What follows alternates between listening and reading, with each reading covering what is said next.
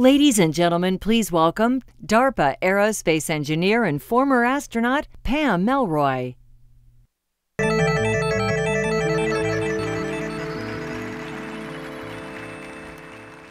We just heard from Craig Clark about the revolution that's happening in low Earth orbit with small sats that are going to change the world by the ability to look at the Earth every day and beam that information to us real time.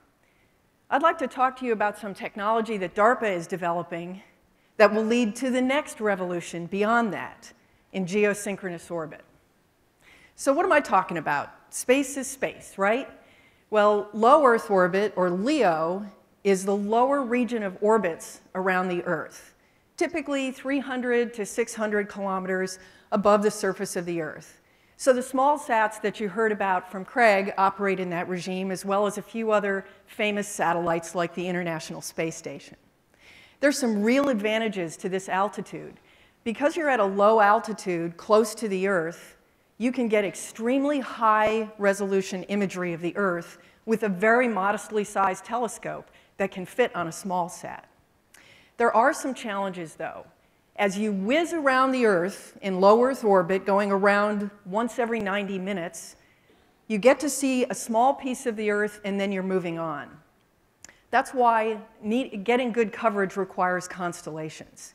In addition to that, within about 25 years, you're going to deorbit due to frictional drag. Geosynchronous orbit, and this is not to scale, by the way, is much further out. 36,000 kilometers away from the surface of the Earth, or almost 10% of the way to the moon. GEO has an almost magical property. Because the orbital period matches almost exactly the time it takes for the Earth to rotate on its axis in a single day, objects in GEO appear to be hovering directly over a single spot on Earth. Orbital velocities are lower, minimizing the risk of debris generation and collisions. You can imagine that because the field of view is huge from that far away, if you have a large enough aperture, you can see almost a third of the Earth's surface at once. And that's why most of the telecommunications satellites that give millions of customers television every day operate at GEO.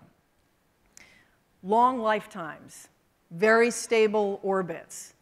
In fact, we don't think an object in GEO is going to re-enter the Earth's atmosphere anytime soon, maybe up to a million years. We think this sounds like a really interesting place to put infrastructure because it's such a stable place. So what kind of infrastructure am I talking about? Well, think about it. It's a long way away from the Earth, and it's really hard to get at your stuff and to bring it home. What if you could build a satellite up there in GEO? What if you could repair it? What if you could upgrade it with the latest electronics?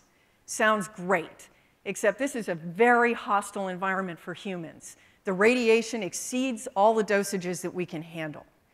So we think the key technology to enable these capabilities is space robotics.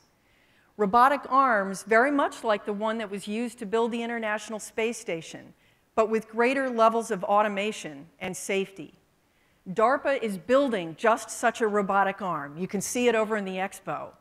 It's got interesting characteristics like robot reflexes and compliance control that greatly minimize the risk of debris from inadvertent collisions. We think this is a critical capability to building a transportation hub that allows transportation to and from the Earth's surface, from low Earth orbit to GEO, and even beyond Earth orbit. We think that these capabilities, space capabilities, are not just about a single monolithic satellite with a few capabilities, but instead about a vibrant, robust ecosystem that involves transportation, repair, refueling, upgrading, in situ construction. So look at the great seafaring port cities in the world for inspiration and imagine a port of call at 36,000 kilometers. Thank you.